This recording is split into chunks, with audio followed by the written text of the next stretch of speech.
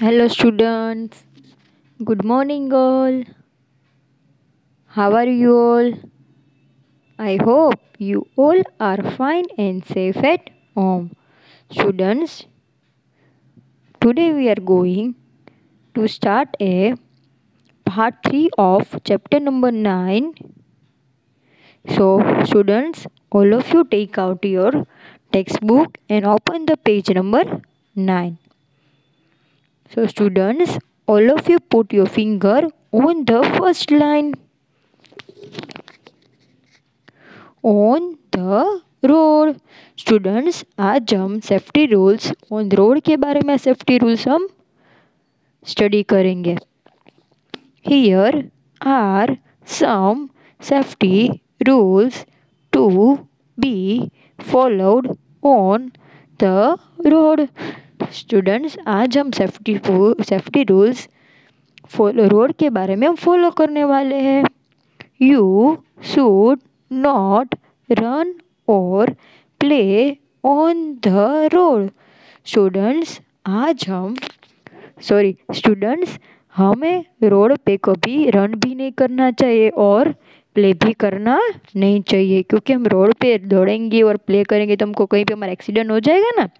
इसलिए हमें कभी भी रन और प्ले रोड पे करना नहीं चाहिए। वॉक ऑन द फुटपाथ और on one side of the road बच्चों, हमें रोड पे वॉक करना है तो फुटपाथ पे करना चाहिए और रोड के वन साइड में ही करना चाहिए। हमें रोड के बीच में कभी चलना नहीं चाहिए। Hold an adult hand while crossing the road बच्चों हमें रोड को क्रॉस करना है तो हमसे जो एडल्ट हमारे साथ है, उसका हैंड को हमको पकड़ के, यानी उसकी फिंगर और उसके हैंड को होल्ड करके, तभी हमें रोड क्रॉस करना है। वो अकेले कभी रोड क्रॉस करेंगे नहीं। यूज़ ए जिब्रा क्रॉसिंग बच्चों, हम जब रोड क्रॉस करें तो हमें क्या यूज़ करना चाहिए? जिब्रा क्रॉसिंग जिब्रा क्रॉसिंग यानी रोड पे वाइट और ब्लैक लाइन की स्ट्रिप्स बनाई, उसके रोड पे लाइन बनाई होती, यानी स्ट्रिप्स बनाई होती, तब भी उसमें ही हमें रोड क्रॉस करना चाहिए। A zebra crossing is the part of road marked with black and white lines where people cross the road safely. बच्चों अब पिक्चर पे देख रहे हो ना, ये रोड पे क्या हुआ? वाइट और ब्लैक लाइंस बनाई है। वहाँ पे सारे वहाँ पे सब वॉक करे ना तो तभी हमें जिब्रा क्रॉसिंग पे ही हमें रोड क्रॉस करना चाहिए। जिब्रा क्रॉसिंग क्या होती है? रोड पे वाइट एंड ब्लैक लाइंस बनाई होती है, उसमें मार्क की होती है, उसमें ही हमें रोड क्रॉस करना चाहिए। Now traffic traffic light traffic light control the movement of vehicles बच्चों ट्रैफ़िक लाइट क्या होती है? जब रोड पे ना ट्रैफ़िक लाइट होती है रोड पे ऊपर रोड के ऊपर ट्रैफ़िक लाइट होती है। ट्रैफ़िक लाइट यानी क्या होता है? सारे व्हीकल्स इतना सारा रोड पे इतने सारे व्हीकल्स आते हैं। ट्रैफ़िक ट्रैफ़िक क्या होता है? रोड पे इतने सारे व्हीकल्स आते हैं। कार बस स्कूटर तो रोड पे बहुत ट्रैफ़िक हो जाता है। तो ट्रैफ़िक लाइट ये सारे ट्रैफ़िक को क्या करता है? सारे व्हीकल्स को कंट्रोल करते हैं, यानी वो मूवमेंट उसको मूवमेंट करते उसको कंट्रोल करते हैं। We can see traffic lights on the road बच्चों, हम ट्रैफ़िक लाइट कहाँ पे देखेंगे? रोड पे देखेंगे। दे हैव थ्री कलर्स बच्चों ट्रैफ़िक लाइट्स के कितने कलर्स होते हैं? थ्री कलर्स होते हैं। फ़र्स्ट वन क्या है? Red means stop traffic light में क्या, जहाँ पे फ़र्स्ट फ़र्स्ट लाइट होती है, वो रेड कलर की होती है। वो जो ट्रैफ़िक रेड कलर क्या कहता है, उसका मीनिंग क्या होता है? जब रेड कलर हमको दिखाई देता है, वो सिग्नल देता है तो हमको क्या हो जाना है? स्टॉप हो जाना है। जो भी व्हीकल होते हैं रेड लाइट दिखती है तो क्या हो जाना है? स्टॉप जो वहीं पे है, वहीं पे हमको क्या रहना है? खड़े रह जाना है। हमें आगे जाना नहीं है स्टॉप रह जाना है। येलो मीन्स आइधर वेट और गो अहेड केयरफुली बच्चों येलो का मीनिंग क्या है? हमें वेट करना है और गो अहेड केयरफुली यानी हमें धीरे धीरे स्लोली स्लोली ध्यान से हमें आगे बढ़ना है। हमें वेट करना है या धीरे धीरे स्लोली स्लोली हमें आगे बढ़ना है? ग्रीन मीन्स गो ग्रीन का क्या? ग्रीन सिग्नल का क्या है? ग्रीन ग्रीन लाइट होती है तब क्या होना है? शाम को जानना है। रेड मीन्स स्टॉप हमें क्या हो जाना है? स्टॉप हो जाना है। येलो का मीनिंग क्या है? हमको वेट करना है और स्लोली हमें आगे बढ़ना है। और ग्रीन का मीनिंग क्या है? गो आप यानी आप जा सकते हो। Now keeping clean and healthy यानी कीपिंग क्लीन एंड हेल्दी यानी आपको क्लीन और हेल्दी कैसे रहना है, यानी कैसे रखना है? To keep fit and healthy we must eat healthy food and stay clean बच्चों, हमें फिट और हेल्दी रहना है। तो हमको क्या करना करना पड़ेगा? हमको ऑलवेज कैसा फ़ूड ईट करना है? हेल्दी फ़ूड हेल्दी फ़ूड में क्या आता है? फ्रूट्स वेजिटेबल्स सीरियल्स पल्सेस ऐसा ही हमें ईट करना है. पैकेट्स कभी ईट नहीं करना है. जंक फ़ूड ईट नहीं करना है. तो ऐसे हम हेल्दी रहेंगे? बहुत सारे ईट कर, नहीं. तो हमें हेल्दी फ़ूड ईट करना है. हम कैसे रहते? हेल्दी रहते और हमेशा हमें कैसा रहना है? स्टे क्लीन हमको क्लीन ही रहना है.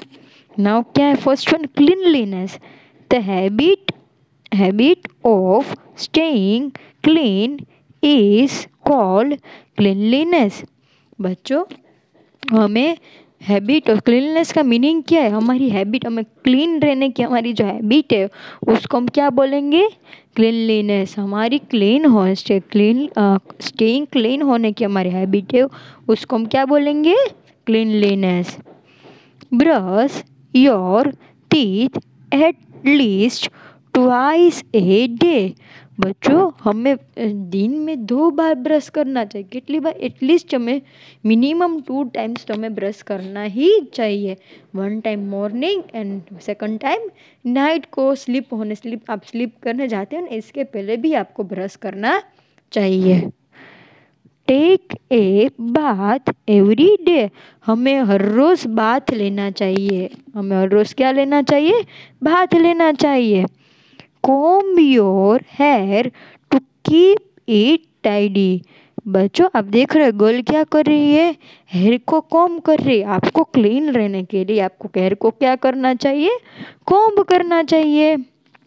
Wash your hands before and after eating food बच्चों, हमें हैंड्स को क्या करना चाहिए?